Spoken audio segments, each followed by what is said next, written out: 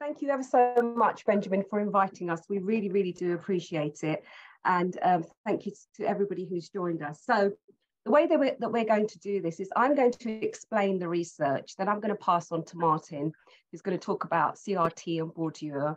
Then I'm going to talk about whiteness and belonging. And then Martin's going to talk about brands. And then I'm going to sum it up. So I'm going to sort of try and do five minutes on each if we can.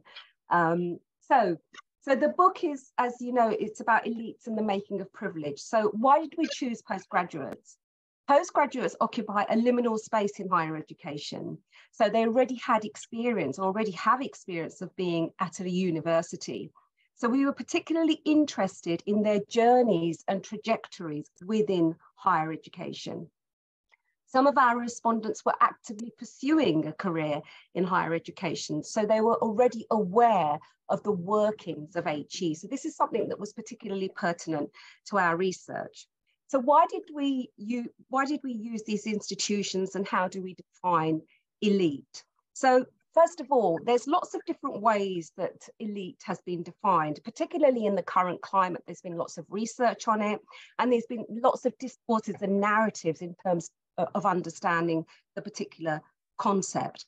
So the way that we defined elite, particularly in relation to universities, was specifically their standing in rankings and also their measures in teaching and research excellence. So the four universities that we selected, two in the UK and two in the US, hugely well known. Um, um, I'm sure you'd probably be able to guess which ones they are, but we're not allowed to say which ones they are.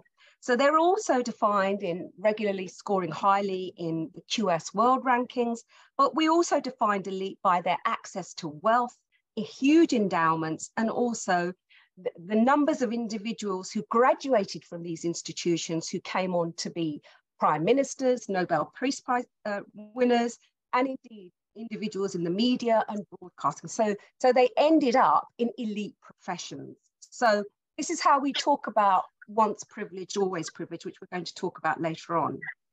And most of these elites are defined by their recognizable status. And it is particularly in relation to that trajectory of eliteness, in the sense that they end up in the upper echelons of government, media, judiciary, and indeed MPs. So the institutions are also based on their recognizability, not just in terms of their eliteness, but also their physical presence and what they actually look like. Furthermore, they're global. So we know what this notion of eliteness means. And Marty's going to talk a little bit later on about brands and how we talk about that in our research. So we interviewed 49 postgraduate students and we had a mixed group of students. They varied by class, by family, by their access to wealth, and most specifically their ethnicity and also some were international and some were home students. We also looked at their prior experiences. The majority of, of our respondents had already studied at an elite university. So they had knowledge of what this notion of an elite university meant, particularly in relations to identity and belonging and so on and so forth. Some had been to an independent fee paying school, others had gone to state schools, but we argue that what's important about our sample is that it, it reflects a wide range of different experiences of students. But the two things that we were particularly interested in were class and race and how those identities worked to merge in terms of understanding new ways of thinking about students' experience at, at elite universities. And now I'm going to pass on to Martin who's going to talk, do the hard bit and talk about CRT and Bourdieu. Uh, thank you, thank you. Um, so yeah, so we're, we're clearly, when we were doing the research and we are thinking about elite universities, what we were interested in right from the start is about how inequalities materialize in those particular institutions. And they are very particular, very specific institutions. So Kalwant was saying that the part of the interest about brands later on is is the sort of the recognizability and the legitimacy of how these institutions are understood. They're global brands and everybody knows who they are and everybody, you hear the name and you immediately know who they are. So when we were thinking about looking at class and looking at race in those two contexts. Um, I mean, we use two theoretical perspectives, which are really quite obvious in respect. So on the one hand, we are using Bourdieu, on the other, we're using elements of critical race theory. So particularly using things like intersectionality, things like racial realism, things like interest convergence. So theoretical means of understanding how um, inequalities of race, how uh, racism are continued and perpetuated in the research in the, in the fields where we were looking. Um, and in some respects, you know, part of, you know, when I read, we produced the book and we produced the research, some, some of the conclusions are pretty much what you would anticipate. They're fairly obvious to a certain extent. Um, so particularly if we're thinking about class, we're thinking about wealth, and we're thinking about privilege. Um, in elite universities, the elite university is a very competitive space, and people are clearly competing for the um, for greater, you know, to, to acquire more capital, that social capital, be it economic capital. And in that competition, people who come into the universities, those, those sort of attributes, things like class, wealth, privilege, um, they're, they're hugely beneficial. So people come into the university, it's easier for them to get access in the first place. Their experience of being there is much happier. Um, and the outcomes they gain from it, again, they, they tend to do much better out of it than people who don't have access to the same forms of capital. And I don't think that's a massive surprise. I think that would, that would be what we would anticipate. Um, you know, and in the work we did, we were very clear to sort of delineate how that happens, to sort of explain the processes by which that's happening and evidence that. Um, and similarly, I think we, you know, we're sort of thinking about race and racism and very similar patterns again. So if, we, if I'm thinking about it in terms of class, I'm thinking about the intergenerational reproduction of the same inequalities. In terms of race and racism, when I'm looking at universities, um, what we identified was very much that patterns of racism continually materialize over quite long periods of time. So we were talking to students in one particular moment. If we look back at these institutions, they have long histories, long records of um, very obvious aspects of racism appearing, reappearing over and over again. And of the these the university in particular, sort of creating a language by which they appear to be addressing racism, but essentially uh, allowing and almost using racism as a means of defining who does and doesn't come out of the university with the best outcomes, the most successful um, outcomes. Um, so in some respects, that seems very much like um, we talk about things that are very obvious. Um, what I would suggest is there are certain aspects that bringing CRT, critical race theory, and Bourdieu together, they created some very new understandings, which I think is at the heart of the, of the book. Um, and we're going to talk about some of those in particular in a minute. So Kalwant's going to talk about how whiteness and white capital and um, ideas of ethnicity and race materialize in university. And I'm going to talk later on about brands in particular um, and how that materializes, particularly using Bourdieu. Um, what I would say is when we were thinking about this, um, one of the things that came out is the idea that the, the usefulness of CRT and the usefulness of Bourdieu, particularly together. Um, obviously, some people have used those together in the past, but I think they've been underutilized and maybe not utilized in as um, effective or useful a way as they, as they could be. Uh, and there's reasons why I think the, the two come together. One is there's a very um, there's a particular sort of similarity to some of the, the practice and the approach to conducting qualitative research, which comes out through both Bourdieu and out through CRT. So in CRT, one of the key sort of elements of understanding how we view the world is, you know, is understanding people's lived experience, their stories, their accounts of what they're doing. Um, and I think that that sort of idea that you put a lot of emphasis on the empirical data in order to draw out um, more theoretical conclusions is very much it resonates between the two approaches. Um, so that's one of the reasons I'd identify why they work together well in tandem. Um, and the other thing that CRT is useful for in this context, um, So when I talk about Bourdieu and I think about the reproduction of inequality, that's quite a sort of pessimistic worldview. I think one of the things that's been dealt with fairly head on by CRT scholarship is often the idea that you know, if we're faced with situations that don't change, which we identify theoretical perspectives, which are basically suggesting the same sort of outcomes are likely to rematerialize again in the future. Um, almost, you know, what's the point? Why, why bother to carry on with this work? And I think I, there's sort of two people I'll draw into the, the argument about this. Um, one is Thomas Acton, who was the first professor of um, gypsy um, traveller work. And he always said, because one of the problems when we looked at particularly research that looked at education and travellers was this you could look at it every 10 years. The same people do some more research and find the same things. They find out exactly the same issues of racism materializing. And he sort of basically said it's still worth just doing that work and just getting it out there. And the other is sort of Derek Bell, who I think, again, when he was talking about when you are faced with quite difficult um, circumstances, against the idea that um, racism and the attempts to redress racism through things like interest convergence, where there's change, but it's often change that actually benefits a white population rather than a non-white population. Um, and Derek Bell pretty much says it's it's still it's you know it does us good to point this out. It does us good to make an argument about it and to to challenge it. And I think I find some a lot of resonance with that and Bourdieu, I suppose, in terms of someone who's thinking about their research as a political piece of research.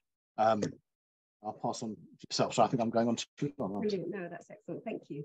So in our book, we do we talk about uh, white capital and the maintenance of white supremacy and how this works in elite universities. And I'm going to talk very briefly now about whiteness and belonging and how this this kind of materialized to perpetuate the white social order or white supremacy. So many students um, of color, for example, from less affluent backgrounds, they expect, express feelings of doubt about their right to belong within elite university spaces. And many of these were from working class backgrounds. And they doubted whether their legitimacy to be an elite university was recognized by their white middle class peers and indeed their professors. The doubts felt by students of colour about their presence within elite universities reflected their personal narratives of discomfort. One apparent irony was that their, discon this, their discontent remained constant despite the overwhelming claim of these elite universities to suggest that they were indeed meritocratic, they were interested in widening participation, etc. However, in principle, by gaining a place as a graduate student at an elite university, students in, actually experience this discomfort, particularly in relation to expressing their doubts about belonging. And many of them described their white peers by openly suggesting that their ethnicity gave them a favorable advantage.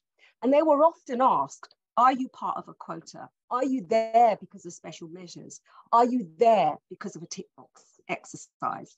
And this was a means by which the collective meritocratic narrative of elite universities was maintained and indeed could be maintained, while simultaneously undermining the credentials of individual students who did not possess forms of white capital. Some students suggested that they were allowed entrance into the elite university, university because it benefited the university by presenting a facade of institutional inclusivity to the outside world, rather than a genuine engagement with widening participation policies. And this is also evidence um, in Derek Bell's work through interest convergence. So yes, of course, universities, especially elite universities, will engage in these inclusive measures, only if it benefits them more than the groups at which it was aimed. So Nima, a black working class student, described how her peers made jokes about her benefiting from, for example, affirmative action policies in the US, and then explained that this produced lingering doubt about whether or not she deserved to be there. And I quote, Sometimes I do wonder whether I'm filling a quota. I'm often asked that. I wonder whether did I get here because of some sort of affirmative action measure or was it some other special measure? And, and I feel that I sometimes are, am made to feel that way by my peers and even my professors. Even though I did go to an Ivy League university as an undergraduate, there is still the sense about how come you are here? How come you are occupying this place? This is not a simple question. It's always, for me, about who I am and what's my story. I've been told so many times by students that those who apply for this program are only a handful. Literally, a small handful only get in. So, am I there? Am I here for another reason? So, what was particularly pertinent about our research was that students identified forms of cultural capital associated with whiteness that benefited white students within elite universities. Although narratives of affirmative action policies were inaccurate and did not reflect evidence that students of colour were less likely to be successfully admitted to elite universities, they still retained a significant cur currency amongst white students. This was a narrative that, that devalued the capitals of students of colour and reasserted the greater value of capitals which were held by white students. Furthermore, the willingness of some white students to openly make these claims, sometimes which were often couched as jokes, demonstrates white capital's effectiveness as a dominant form of power within the elite university. And in doing so, we argue upholds a system of white supremacy. So I'm conscious of time, but I'm just going to finish, if I may, on one last bit on this, and then I'll pass on to Martin, who's going to talk about brands. So the most significant finding to emerge between our students and our research was this notion of a sense of belonging. And this is where the intersections around race and class are really, really important. These were clearly defined by multiple different factor, factors, such as, of course, education, past educational experiences, family circumstances, geography, geography, chance, and indeed luck. Unsurprisingly, we argue, race and class were often associated with all of these and other factors that determined outcomes. Whiteness as both a phenotypical marker of identity, but also a visible marker of types of behavior, of different beliefs and attitudes, was a consistent feature of elite universities. White forms of capital, which again materialize as a range of characteristics, a range of behaviors, attitudes and uh, beliefs are heavily weighted as the most effective forms of, of capital. Graduate students at elite universities were in essence engaged in a, in a competition for these white capitals. Many students of colour were disadvantaged in that competition because they did not bring pre-existing white capitals to the university. They were effectively disadvantaged by having access to less or indeed less effective capitals within this elite university. So we argue that this notion of the reinforcement of white capitals suggests that elite universities work complicitly to, to regulate and reproduce openly the reproduction of whiteness. Students who do not possess white capitals are disadvantaged in comparisons to those who possess more or indeed better forms of white capitals. Simultaneously, a narrative elite university meritocracy ensures that those students with greater access to white capitals and those who are continuously advantaged do so to, to reinforce their own status and position through whiteness. So furthermore, we argue that this is not equitable. This is not an equitable competition. This is based upon the legitimacy of whiteness within elite universities, which works specifically to uphold white supremacy. Now Martin's going to talk about brands. So, yeah, so I'm going to move on to something that's slightly more, um, I suppose, specific to the research and it's a, it's, it's a smaller issue than the issue of white capital, but it's an interesting one, I think, if you're working around Bourdieu. Um, and one of the things I I think we were when we started the research, brands were the brands of the university, the brands of a Harvard or a Yale or an MIT or an LSE it's how they work. Um, I think one of the reasons that is, is, is a sense that of the, how nebulous they can be. And I think the sort of similar, there's a similarity between these sort of ideas of how a brand works, perhaps things like rankings, um, or how in the UK perhaps the research excellence framework works. When you see the data that comes out of it, and you're trying to establish what it actually means. Um, so recently, I was I was slightly accused of conducting uh, of this some of this research being a bit opportunistic. I was a bit miffed about that at the time, um, and the reason suggested was that the brands work in particular was a, a sort of add-on to how we might understand elite university, and I, and I really don't. Not only do I not think it is an add-on, I think it was actually something that's you know, when you do some work over sort of three or four years and it's built in right from the beginning. It's it's not an opportunistic piece of research. Um, and what and the reason it's there, and the reason I'm trying to, is that I think um, there's a sort of there's a sort of low level way in which you can really understand brands simply around Bourdieu and sort of talk them as a form of cultural capital, uh, and that's fine. I think what what was coming out of what we were looking at was was something um, slightly different because it was about how elite university brands work and how that differs from brands more generally. So there are things about recognizability and legitimacy that attach themselves to brands. So you know, the brand of a, a, Chanel or a Gucci, um, or the brand of Amazon or POTUS. Um, those brands sort of, they imply both that everybody understands who they are, and to a certain extent that people are buying into them for what they are. Um, and I think when when when I was trying to understand how the brand might work within an economy where capitals are actually you know, people are competing for them and they're at stake. It's really interesting when you start reading um, sort of the literature around business studies, literature around accountancy. Um, the idea of a brand, a brand like Chanel, it has to be accounted for on a balance sheet. It has to be something that actually materializes as something that you can put a value on. Um, and that's recognized as being very, very difficult to do. It's recognized as being difficult to do because it's nebulous, because it's to a certain extent about how much people invest in the belief in the brand rather than something that we can say, oh, this brand is worth this amount of money or this brand is worth this amount of status. Um, and I'm trying to sort of, so there's um there's a guy called Van Eekelen who who's who, who writes about accountancy, about double entry bookkeeping, um, and he's talking about how you value brands and how the brand. he he's he talks about the brand as this um, as an intangible form of capital that has to appear on a corporate or an institution balance sheet.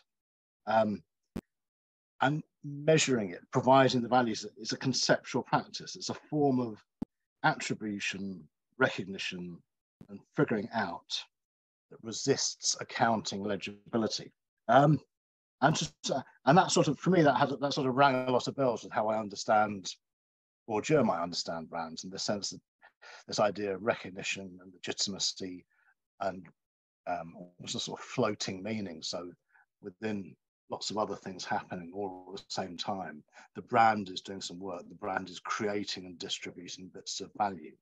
Um, so, so Bourdieu writes in places about brands. Obviously, not there's, there's not a huge amount, but he again he talks about these sort of nebulous concepts. So he talks about things like goodwill or brand loyalty as being the things that are key to determining um, idea commercial value. Um, and I think I've got a quote from Bourdieu. It says, uh, the brand fu it functions as a form of credit. It presupposes the trust or belief of those upon whom it bears because they're disposed to grant it credence. So the idea that the brand, we, buy into the brand somehow. Um, and I think this is where, when I look at elite university brands, there's something slightly different that's happening there. Um, so if I'm thinking about a lot, so if I think about a commercial brand like uh, Nike or something, when people buy Nike, they the, the assumption is obviously they recognize Nike has legitimacy, it has a value to them. But they almost buy into the brand and they become part of the brand. And that when you read the sort of way uh, if you if you read um, business leaders, how they understand the brand's work, is that they want people almost to be engaged in to when they sort of about buy into the brand, they want them almost to become part of the brand and to be doing the work of the brand. So when I stroll around with my Nike trainers, I'm almost advertising Nike because it's it's to do with who I am and what sort of person I am. Um, and I don't think that's quite how elite university brands work. It's possibly the way the brands of other universities work, sort of less elite universities, less elite universities. Um, when we were looking at the brand and how that worked and how people bought into it, what we tended to see was that the brand is almost a form of exclusion. It's it's um, it's almost like a difference between a selecting and a recruiting university. And the brand was some of the work it does is around excluding people from being included in the brand. There's no value, for example, to the elite university to have um, to double their student numbers or treble their student numbers. They don't have to do that because of their positioning. And when we then sort of look at you know those exclusions, and they're along fairly on I suppose they're, they're exclusions along the anticipated lines of exclusion around class and race. Um, when when that happens, the value of the brand, because of the eliteness and because of the, the legitimacy and the, the potency of the meaning that the brand has, it almost works as a as a means of legitimizing those forms of exclusion. So when I think about perhaps um, this is not talking about the institutions that we did our research in, but when I pick up a newspaper or I go on um, media page, the sort of the endless drip drip of stories where there'll be this Oxbridge College hasn't recruited any black students for X number of years. That should be very challengeable, but it almost isn't challengeable. And I think one of the reasons it's not challengeable is because the people who have the greatest amount of control over the forms of knowledge that understand what universities are is tied into this idea of the brand. And so almost slightly soft excuses, the slightly soft accounts of how they're tackling inequalities of race or inequalities of class are legitimized in part by work that the brand does. Um, and that very much comes out of it, their recognizability and the, the legitimacy attached to those institutions. I'll leave it to that. So I'm just going to very quickly conclude um, because that book half past already. So in our research then, um, we argue that inequalities are over recognizable features of the elite university field. Evidence of these inequalities have always been in the public domain. They are not, they are not an unwanted byproduct of accumulated historic mistakes and errors of judgment. Rather, we argue, they are an ongoing overt strategy to maintain the interests of academic and non-academic elites, particularly within the space of elite universities. Racism and class inequality are the normal anticipated outcomes because the interests of elite university are primarily the interests of a white middle class elite. We know that Bourdieu describes the taken for granted nature of social structures, including their inherent inequalities. We argue that elite universities are uniquely positioned to defend their entitlement to their status from challenge, as Martin has just said in relation to brands. We argue they are able to exert a particular form of power as the arbiters of whose cultural capital holds the greatest and most important value. And this is overt, we argue, this is not hidden. Although with non-elite universities, they are, we argue, knowledge producers. They are engaged in the day-to-day activities of research that does produce new forms of knowledge. However, in addition to this, their ongoing status as the most highly regarded institutions as elite grants them the privilege of establishing which forms of knowledge should be understood to be the most significant. And just as a footnote to this, um, I've just written an article which hopefully will be out later on this year, which talks about knowledge construction as white excellence. And this is something which is a follow on from some of the work that we've been doing in here. So in the competitive field of universities, they're playing um, basically with a, a heavily landed, loaded hand of cards, which is their own accumulated cultural capital, which determines whose work, which people and which institutions hold the most value, i.e. whiteness. In this competitive venture, they inevitably pursue strategies to protect their own interests, overtly so. And at the micro level, these include the interests of students who sit most comfortably and whose values align with white middle class interests of that institution. At the macro level, elite universities are engaged in shaping the global economy. They do this through the successful positioning of their own people within elite positions, and indeed through the brands, as Martin has argued. They are also engaged in the competitiveness that asserts particular national interests, those of Western universities, particularly in the US and the UK, rather than universities in the global South or indeed the developing world. In conclusion, and to put it bluntly, we argue that elite universities work only to serve their own interess. Occasionally, these interests might be mitigated or forced to adapt to changing social and economic climates.